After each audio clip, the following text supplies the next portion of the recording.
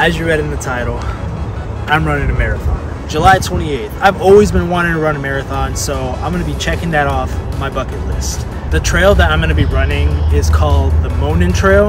I think it runs for about 27 miles, so I didn't specifically sign up for a marathon, but I'm running the marathon link. I'm hoping some of my friends are gonna join me along the way, maybe for a couple miles. The specific training program that I'm running, I'm gonna pop it up here on the screen.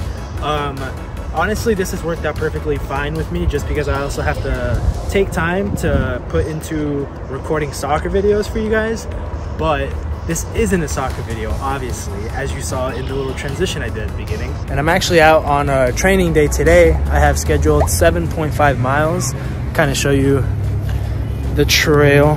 So this is the trail we got going on. I think this specific trail goes on for about 5.4 miles. So as soon as I hit 3.75 down, I'm gonna head back.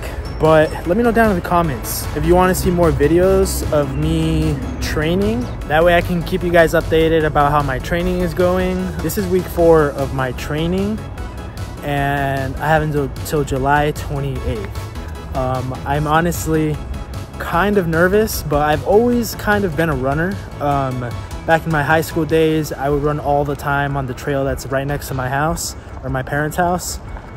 And I don't know how much I would run, but I would run all of the time. But yeah, for today's video, I'm gonna bring you along my training for today, which like I said is 7.5 miles. So I kind of keep you updated as much as I can. For sure, at, towards the end, so you guys can see how tired I am. Whew. Mile 4.2. Oh man. Not gonna lie, those have probably been my fastest miles that I've done consecutively. But this heat, man, it's getting to me. My head's gonna be a baked potato by the end of this video. We made it to the end of the trail. So we did 4.2 miles in 38 minutes. It's pretty average. About to text Gabby that I'm on my way back just so she starts going back too. Not gonna lie though, feels pretty good. Oh yeah, that breeze is nice. Like I said at the beginning of the video, I've always wanted to do a marathon and honestly training for it has been one of the harder things I've done because you have to follow that training resume that you put yourself because if you don't, come race day, you're gonna be absolutely pooped.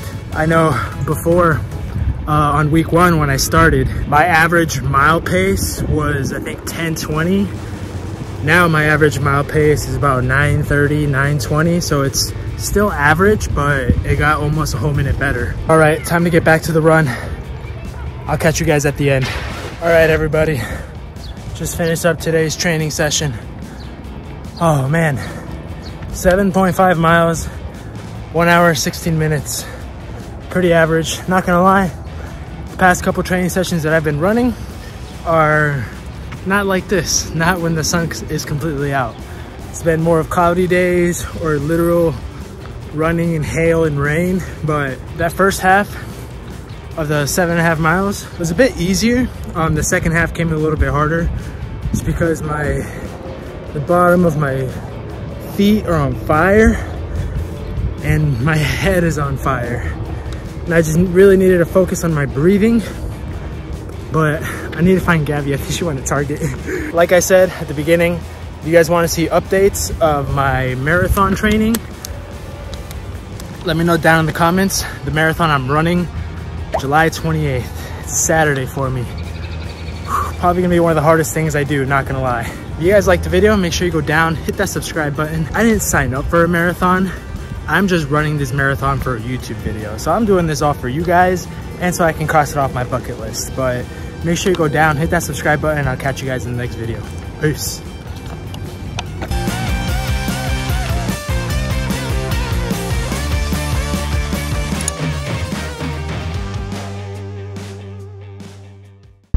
Yeah, so the specific training program that... Forgot. okay, I'm ready now.